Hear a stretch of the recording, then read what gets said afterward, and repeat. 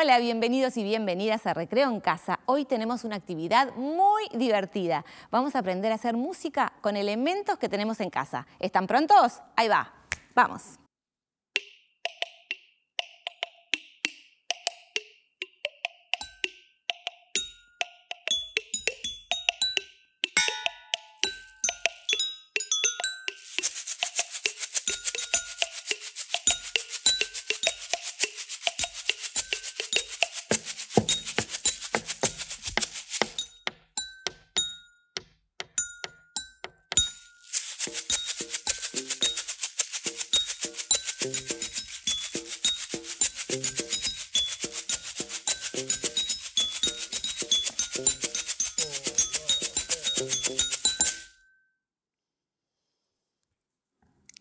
Hola, yo soy Mike. Y yo soy Maxi.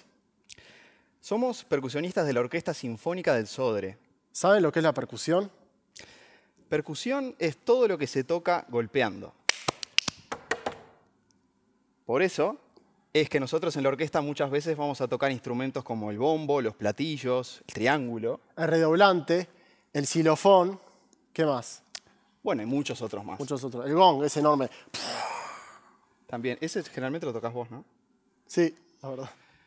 Hoy les vamos a contar cómo pueden hacer música con algunos elementos fáciles de conseguir o que incluso puedan tener en sus casas. Así que se nos ocurrió comenzar con lo más cercano, que es justamente nuestro propio cuerpo. Maxi nos va a contar un poco cómo hacer algunos sonidos con el cuerpo.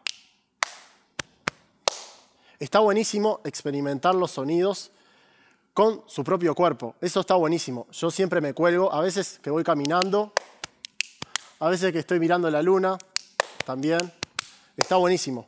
Ahora les voy a pasar tres sonidos para crear un ritmo con su propio cuerpo. Por ejemplo, el primer sonido en el pecho.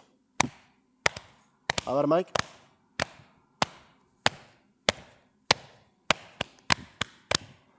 Ese es el sonido número uno. Sonido número dos.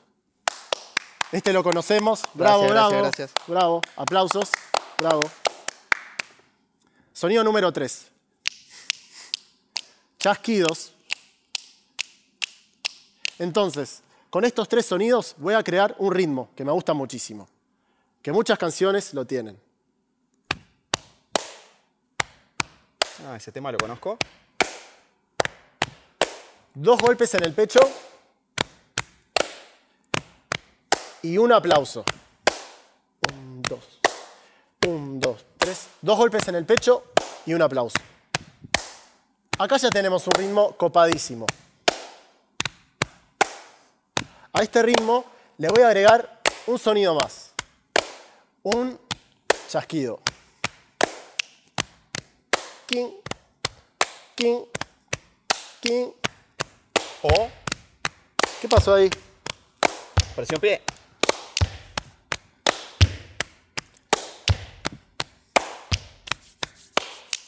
Y ahí, Mike, ¿qué pasó? Estoy con un poquito de frío. Ah, frío. En el, en el pecho, da- darse suave porque si no les puede quedar todo marcado y no es la idea. Pero acá ya tenemos su ritmo. Dos golpes en el pecho, uno en las palmas y uno en los chasquidos. Es importante saber que con su propio cuerpo se pueden hacer cantidad de sonidos, de todo. O sea, son muy... Que, que- quería hacer uno así. Acá hay uno, mirá. No sé si se escucha. Pero son infinitos. Ustedes los pueden crear y la creatividad con los sonidos y con la música y todo para crear ritmos es totalmente infinita. Ilimitada, exactamente. También queríamos mostrarles un poquito los elementos que usamos al principio de este video. Bueno, acá estábamos desayunando. Hoy sí que nos levantamos temprano, Maxi. Qué rico.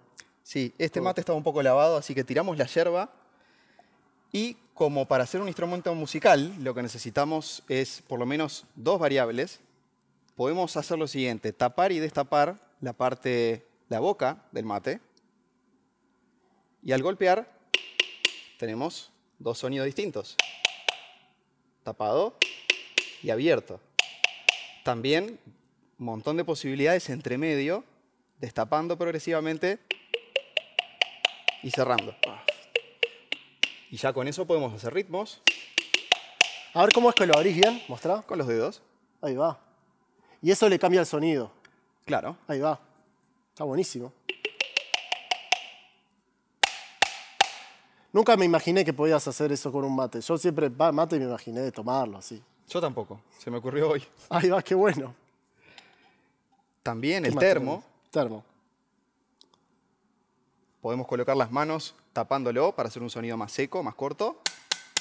O un sonido largo. Y cuando variamos entre corto y largo,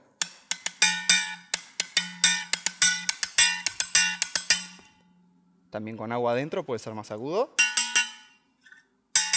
o más grave. Ya que vos está, ya que Mike estaba con el termo ahí, yo acá tengo unos vasos. Se preguntarán, ¿qué hago con estos vasos si todavía no, tomé el agua que está acá? Por ejemplo, agarré estos vasos de la cocina para hacer como una especie de, batería, como un- una orquestita ahí de percusión que a mí personalmente me encanta. A cada vaso le puse una cantidad de agua diferente para que saque un sonido diferente a cada uno. Por ejemplo, este vaso suena diferente a este. ¿Por qué pasa eso? Como pueden apreciar, apreciar bien, este vaso acá tiene agua y este no. El que tiene más agua va a tener un sonido más grave y el que no tiene o tiene menos va a tener un sonido más agudo. Por eso los ubiqué de esta forma, de más agudo a más grave. Como un piano. Ahí va. Mira, el que los cumpla feliz empieza así. Y me, faltan unas notas. Pero bueno, ¿qué quiero decir con esto? Que pueden hacer el que los cumpla feliz con los vasos de la cocina poniéndole agua adentro. Es una locura, ¿no? Pero se puede hacer. Entonces le voy cambiando el agua jugando con los sonidos. Y esto a mí me encanta, me gusta muchísimo. Así que también hago movilizando, mirá. No lo hago más fuerte porque si no tiro todo, pero. Estos son los, los vasos sonoros. Ya sé lo que regalarte para tu cumpleaños.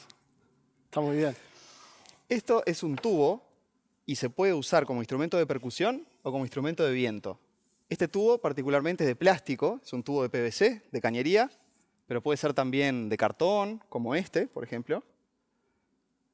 Y usado como instrumento de percusión tiene mínimo dos sonidos posibles, que de vuelta son el tapado y el abierto. Si dejamos la palma tapando la abertura del tubo, tenemos un sonido grave.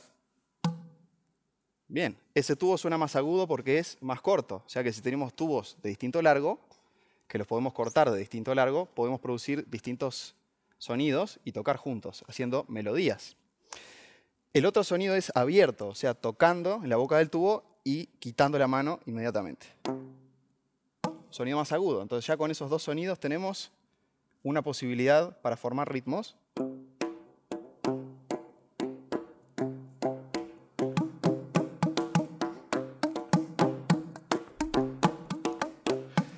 Bien, también podemos tocar en el piso y golpeando el cuerpo del tubo. Y como instrumento de viento, dejando los labios bien, bien flojitos, pero dentro del tubo, al soplar,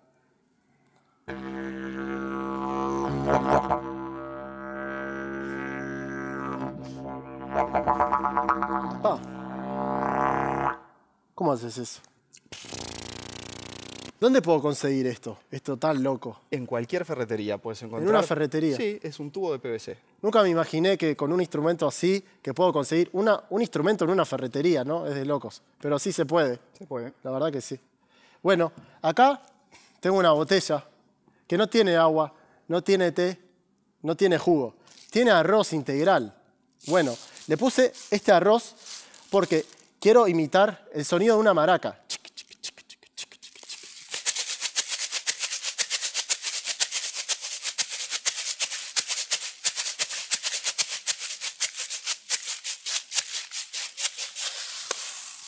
Puedo ponerle arroz, puedo ponerle porotos, puedo ponerle Semillas, por semillas. ejemplo. Una hamburguesa y atún no, porque no entran y no sonaría. Pero, por ejemplo, bueno, una botella Puede ser una botella más chiquita también, está bueno, porque estamos reciclando y estamos usando eso como un instrumento musical. Podemos hacer una también, si tenemos un bidón de agua, le podemos poner arroz y podemos hacer un maracón bien grande para tocar música colombiana. Acá no suena tanto porque es una chica, pero se puede usar un bidón grande o también chiquita. Son maneras de imitar una maraca para hacer música. Ahora que saben cómo hacerlo, nos encantaría que lo hagan en sus casas y lo compartan con nosotros a través de nuestras redes sociales.